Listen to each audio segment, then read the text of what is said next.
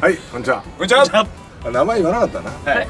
えい。いですよ別に言っても、たまには。豊さん次第なんで、はい。このチャンネルは、再確認。はい。今回はですねはい。日本シリーズがうん。終わりまして終わりましたよプロ野球の全シーズンがですねはい。終わったということではい。最終的に福岡ソフトバンクホークス優勝おめでとうございます。おはようございます。いやまああーのリーグ2位からだからな。すごいっすよそう。強かったなでも強なかったっすねやっぱり。でもあれだなやっぱり野球とともにはい。寒さが増すな、そうですね寒いっすねもう。本当に屋内行きたいですもん早く。寒すぎて。いや日本シリーズいかがでしたかゆゆとさん。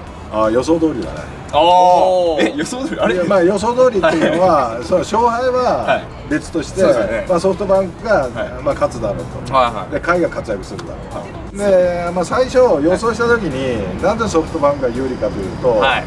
まあ、やっぱこうアイテムいろんなアイテムを持ってる。でまあ監督で言えば短期決戦用にグラシアルにバントさせたりだとか内川にバントさせたりだとかいろいろこう変化を求められた、で変化をさせられたチームがね。で一方広島はどうだったかっていうとさ変化がなかったほとんどで甲斐がなぜすごいか。なぜソフトバンクのバッテリーがすごいかというとさ俺が予想したのがよはい。まあ盗塁だけじゃないよね機動力って。はい。エンドランかけたりだとか、はそういうことじゃあすればいいじゃないか、でもさソフトバンクのピッチャー連中ってかけれるピッチャーがいないんだよ。おみんな150キロ超えてて、ね。みんな特殊ボールがあって、はそしたらエンドランで高谷知ってる？1戦目か2戦目か、はい。なんかにショートバウンドの変化球を取って盗塁で刺したって もうあれを見せられるとさこれエンドランもかけれんぞっていう風な感じで想像できたんだよ。いやっぱ誰にエンドランかけるんだ？そしたら単独スチールしかないわけよ。足を使おうとしたら。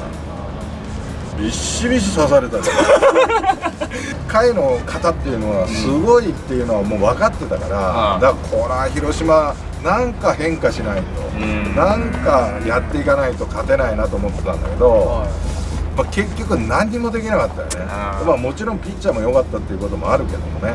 赤いで止められたのとあ絶不調で入ったっていうさ、柳田がうわ第5戦か、サヨナラホームラン。いやーあれはやっぱね役者もいる。すごいっすよね。持ってるなっていう。持ってる。本当に。あとはねやっぱりリリーフ陣が違ったな。あ右の下はいる。左の横はいる。上はいる。もうその場面に合ったさピッチャーがドーン出てくるわけだかあすごいっすよね。もう幅広いというか。幅広いだろ。もう本当に。らで広島の俺ミスはは何かっていうとさ、あれ大丈夫ですか？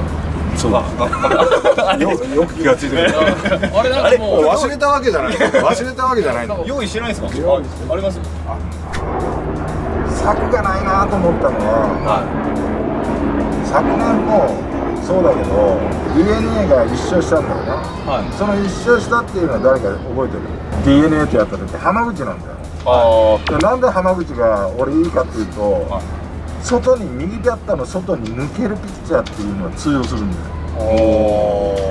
なんで左をもっと試してなかったのかなと、ああなるほど。ね。うん、だからそこら辺なんでデータそういうデータを集めないのかなと思ってさ。でずーっと入れなかったんだよはで第5戦かなフランスはをもう途中から3イニングぐらい投げさせて もうようよういかなくなって中崎でサヨナラ食らったりああもうこれで終わったなと思ってのあの瞬間あにだからそこら辺を選手は左ピッチャーいるのはいるんだよ。ーはただシーズン中はあんまり使ってなかったっていうこともあるんだけどさ、やっぱあれだけぶっちぎりだったらさもう日本シリーズでやっぱ左ピッチャー絶対いるっていうのを考えないと、いはい。なるほどね。うんだからそこら辺がやっぱ俺は残念だった。あソフトバンクの強さだけが目立ったシリーズになっちゃったそうですね。いや今年のにシリーズは面白かったねって言うけど全くつまんなかった。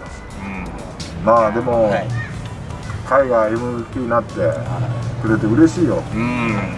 まあそういうことで、はい。ランチソフトバンクおめでとうございます